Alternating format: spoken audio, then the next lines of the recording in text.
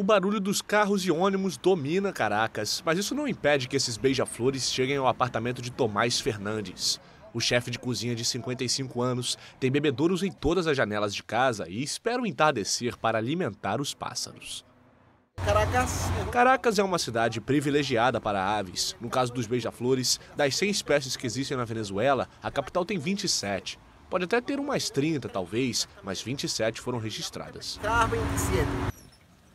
Os pássaros chegam em bandos nos bebedouros colocados em jardins na capital da Venezuela. O néctar que os beija-flores consomem consiste em água e açúcar. Os entusiastas destas aves têm o cuidado de manter os recipientes sempre limpos e livres de fungos que possam afetar a saúde. Com um metabolismo 77 vezes maior do que de um homem, os beija-flores gastam tanta energia durante o dia que à noite entram em um estado semelhante à hibernação. Alberto Blanco Dávila estuda o comportamento do beija-flor. Ele trabalha no Topotepui, um jardim privado de 554 hectares, também com diversos bebedouros, cujo uso divide opiniões. Alguns ornitólogos alertam que os recipientes podem mudar os hábitos dos beija-flores e afetar o papel de polinizador, mas, de acordo com Alberto, isso não acontece.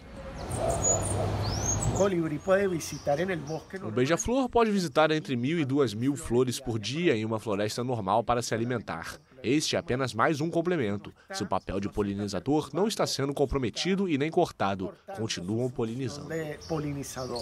Eles polinizando.